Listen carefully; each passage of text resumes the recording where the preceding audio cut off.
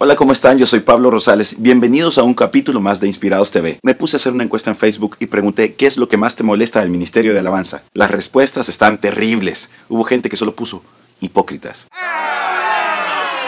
Hubo personas que estuvieron tratando de animar y hubo otras que de verdad dijeron cualquier cosa. Hubo mucha gente que dijo, hey, no se fijen solo en lo malo. Hubo gente que dijo, en mi iglesia hay una gran bendición, los músicos nos llevan a la presencia de Dios. Se obtuvo por lo menos una encuesta de las cinco cosas que más molestan a las personas. ¿Quieren saber cuáles son? Quédense conmigo.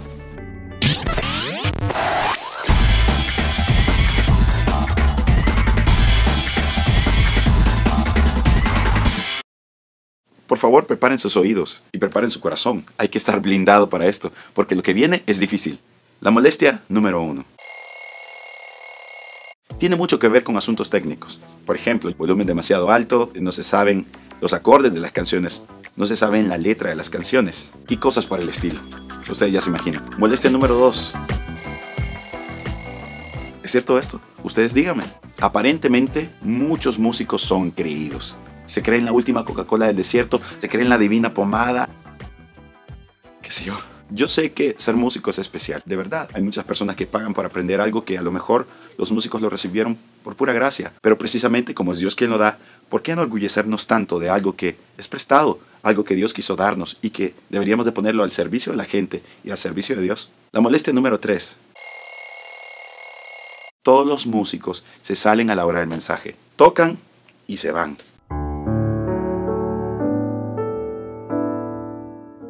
Es crítico. Es como que estuvimos cantando de alguien a quien no nos interesa conocer. Me refiero a Dios. Estuvimos cantando de Dios y diciendo cosas sobre Él y de pronto no queremos escuchar lo que Él nos quiere decir, no queremos aprender quién es Él. Si en verdad lo estamos haciendo, es un grave error. Cuarta molestia. Todos están preocupados porque los músicos han descuidado su vida espiritual. ¿Sí o no que preocupa? Hay muchos que están juzgando por las apariencias nada más. Pero si esto es verdad, si de verdad los músicos no estamos orando y no estamos buscando a Dios, ¿cómo llevaremos la presencia de Dios? ¿O cómo guiaríamos a las personas hacia la presencia del Señor? Así que si esto es cierto, deberíamos de preocuparnos. Número 5. Somos incapaces de adorar cuando no tenemos privilegio. ¿A qué me refiero? Cuando no te toca ministrar, tocar el piano, el bajo, la guitarra, hay otra gente tocando. No levantas tus manos, no cerras tus ojos, no adoras, no cantas, sino que simplemente estás allí viendo cómo lo hacen los demás. La gente se ha fijado y esto les molesta. ¿Y cómo es posible que les reclamemos y les digamos, adoren, hey, levanten sus manos, miren, reaccionen ante Dios, si nosotros mismos somos incapaces de hacerlo o solo podemos hacerlo cuando estamos tocando? Yo creo que si estas cinco molestias son reales, deberíamos de cambiar el comportamiento. Para cerrar, me gustó la actitud de dos chavos, aparentemente adoradores de los de corazón. ¿Por qué? Dijeron, hey, gracias por los comentarios, gracias por avisarme, porque me tomo esto en serio, amo al Señor y de verdad quiero mejorar. Y si estoy haciendo algo malo, quiero cambiar.